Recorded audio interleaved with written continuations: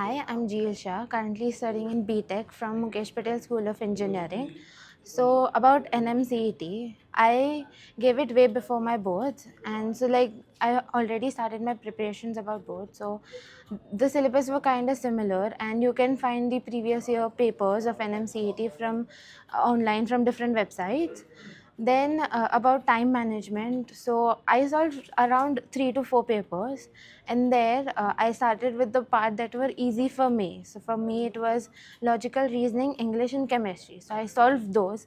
I noted my time, and then I did physics and maths, which are kind of difficult for me. It's up to you, whatever your strength is. So after that, I did it, and like first then obviously you have to check for answers. And then i started uh, doing like first one was like that. And the second and third one my time was may, way better compared to the first one. And um, i used i'm i used to study at night because that was the time i find myself uh, being more uh, focused and